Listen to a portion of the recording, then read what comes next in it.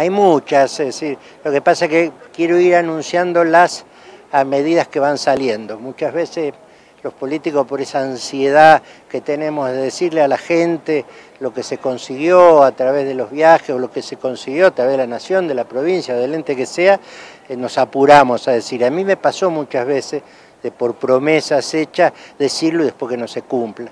Entonces, en esta ocasión voy a esperar que cada uno se cumpla. Hay uno que acabo de firmar hoy, que es un proyecto de Lenosa, eh, para hacer una perforación, vamos a hacer dos perforaciones antes de fin de año, un proyecto de 33 millones de pesos con planta de rebombeo y demás, que para nuestra localidad en particular, que tenemos tanto problema de agua durante el verano, es una gran tranquilidad, aparte de los pozos que estamos haciendo a cielo abierto en cada uno de los barrios, que van a tener un tanque y va a estar clorificado para que la gente también en el barrio tenga agua y no tenga que gastar en los bidones y demás. Eh, y otro pozo vamos a hacer atrás del castillo que se lo vamos a hacer con fondos propios.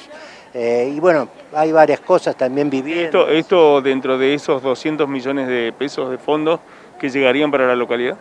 Sí, hay 68, son, en realidad son 120 porque ahora se van a hacer 10 viviendas y después se van a hacer 10 más, pero las 10 ya prácticamente ya firmamos el convenio definitivo y calculo que en pocos días. Y la obra que sí ya estamos licitando la semana que viene y se abrirán los sobres en el tiempo necesario para la licitación es la obra de la pavimentación de la calle Zarratea, que esa es una obra de 120 millones de pesos.